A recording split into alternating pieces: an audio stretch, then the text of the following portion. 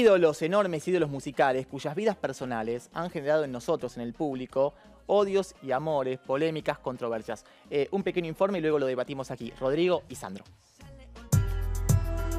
Los ídolos seducen y deslumbran a multitudes con su talento, incluso hasta convertirse en parte fundamental de la vida de sus fans. Pero también, ellos son hombres comunes y corrientes, protagonistas de amores como cualquiera de nosotros. Las mujeres de esos ídolos forman parte entonces de ese lado privado de los personajes públicos. Dos de esos personajes inolvidables son Sandro y Rodrigo, cada uno con su impronta, cada uno con vida propia. El potro tuvo una carrera vertiginosa y una fama casi efímera. Sus parejas fueron Patricia Pacheco, con quien tuvo su único hijo. También lo fue Marix Zavalli, quien dice nunca haberlo olvidado. Rodrigo fue, la verdad que fue, fue muy importante en mi vida, porque fue una relación, fue un hombre que, me recontra buscó. Y me buscó, yo no lo, no lo conocía y él dijo, la quiero, la quiero, la quiero, porque él sabía que yo me iba a enamorar al segundo, me dijo. Pero ella no fue la única famosa. Rodrigo conoció a Graciela Alfano en el año 2000 y hubo amor.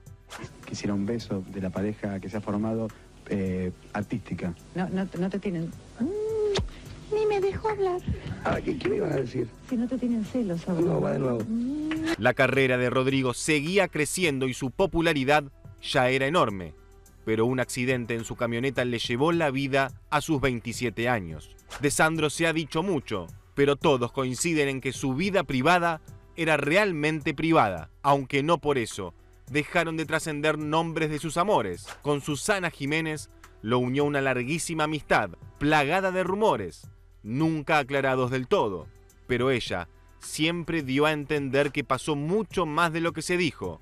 Yo lo amaba tanto que no podía decirle que no a nada. Sandro también fue pareja de Tita Ruz, ex de Alberto Olmedo, y entre otras mujeres tan populares como él mismo, figura el nombre de María Marta Serralima. Era una personalidad muy encantadora, un hombre muy simple y muy romántico, que no tenía tanto que ver con, con esa imagen sexy, así, eh, que daba de tono. así.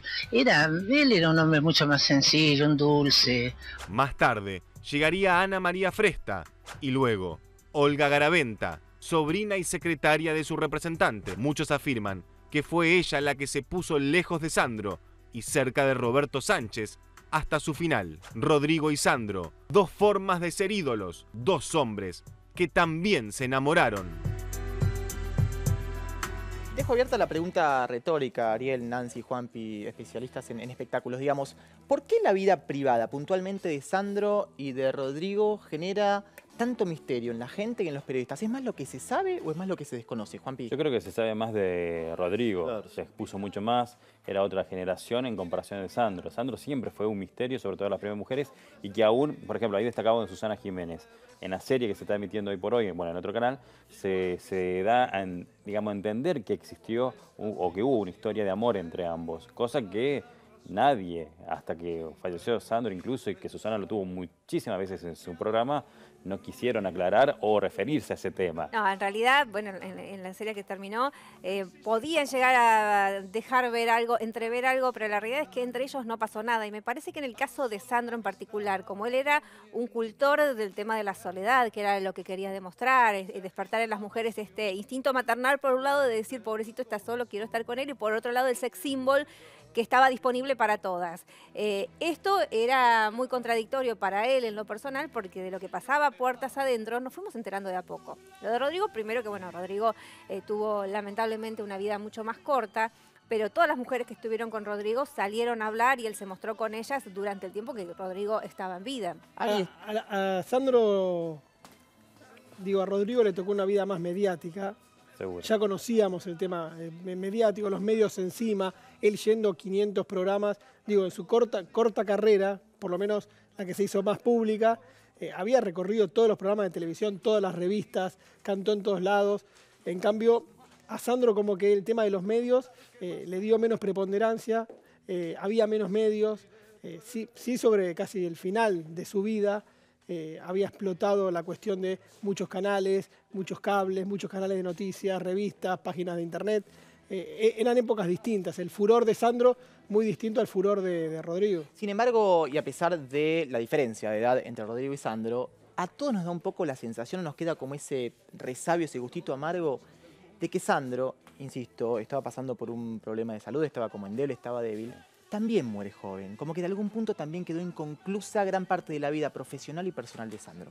Bueno, pasa que él tuvo también unos periodos de inactividad que, que le pesaron, que le pesaron mucho, eh, y después porque también las últimas apariciones no han dejado la mejor imagen de él, porque veíamos Claro. un Sandro ayudado por oxígeno hasta para cantar, para hablar, incluso en el living de Susana. La última Eh, vez que estuvo fue en el año 2004. ¿En Fue, Susana? Sí, Susana Jiménez. ¿Se Y acuerda? después salió telefónicamente la última vez en el 2009, este, cuando Susana ya hacía su programa una vez por semana y ya se lo notaba con una voz cansada. Ya Susana le pedía que cantase por teléfono y cantaba o hacía lo que podía, digamos, este, a capela, pero le costaba muchísimo ya en los últimos años. Los últimos shows, incluso en el Gran Rex, fueron en el 2004. Y otro eh, condimento, Ari, tiene mucho que ver con que tanto en Sandro como en Rodrigo, los personajes periféricos, los personajes que han contorneado su vida personal y profesional, parecería ser que no se entienden entre sí. Hay voces tan eh, antagónicas, tan disonantes, tan divergentes, que eso también genera una suerte de atracción. ¿No? Digo, porque uno pareciera ser que escucha algo, una, un- una versión te dice A, la otra versión te dice B, y que nunca, nunca realmente se llega a la verdad. Sí, claro. Y sobre todo en el tema, por ejemplo, de, de- de Sandro, que muchos años después apareció una, una supuesta hija, Sí. Que también eso generó una, una revolución porque sabíamos que Roberto Sa- eh, Sánchez nunca había tenido hijos y sin embargo años después de su muerte apareció una mujer que todos conocemos, Andrada Junior, que, que di- que dice ser hija, hija de- del ídolo, eh, cosas que a, a Rodrigo le llegamos a conocer, las parejas, el hijo, eh, la madre, Sí. Digo, conocemos Las todo. de- Claro, Rodrigo se paseaba por todos los Sí, programas de televisión, Rodrigo. inclusive Ahora- por todos. En caso de Sandro, en este último tiempo, salvo a lo de Susana, o a veces también una telefónica con Mirta, o con Canal Crónica, que tenía también que siempre lo recibía en, en la casa o algo, no, no daba, era muy selecto, digamos. Pero no solo ir a los programas, sino también hacer una especie de reality de su propia vida. Recordemos viajes que ha hecho junto a Alejandra Romero, quien fue su Claro. última pareja, que él mismo la, la filmaba y las difundía. Su viaje Ahora- como- a Cuba con Maradona. Ahí, ahí vamos con Esteban. Marie, vos que sos un poquitititito más grande que el resto de nosotros. Nada, dos o tres años, no más. Se te ocurra. Estamos terminando. Escúchame. Estoy apelando Veníamos a tu experiencia bien. de vida. La tía Lolo. No, la tía Lolo, escúchame, ¿son comparables a nivel impronta, a nivel popularidad, a nivel artístico, un Sandro con un Rodrigo? ¿Son comparables? Mira, a, pe- a pesar de que tranquilamente podría haber sido, por ejemplo, fan de Sandro, no me pasó y lo descubrí este, ya eh, sobre el final de su carrera. ¿Se entiende? En cambio, con Rodrigo, por alguna cuestión, quizá a lo mejor por su música, además me llegó desde el principio. Me llamaba la atención su pelo, Claro. ¿no? Su- su- sus pelos de un digamos, gran su impacto. Altisonante, Exacto. ¿no? Con lo cual, la realidad es que, me- pero digo, a la distancia, me parece, y aunque yo consumí mucho más la música de Rodrigo, este, que hoy Sandro es más mito incluso Seguro. que A eso Rodrigo. quería ir. ¿Me, me dejas esta mirada Claro. que puede sonar hasta polémica y controvertida? Y con respeto lo digo. Parece que la gran diferencia, y Palmaria la noto yo, es que Sandro se transformó en mito por su trayectoria, por su Sí. prestigio atesorado, ¿sí? y por sus años como artista.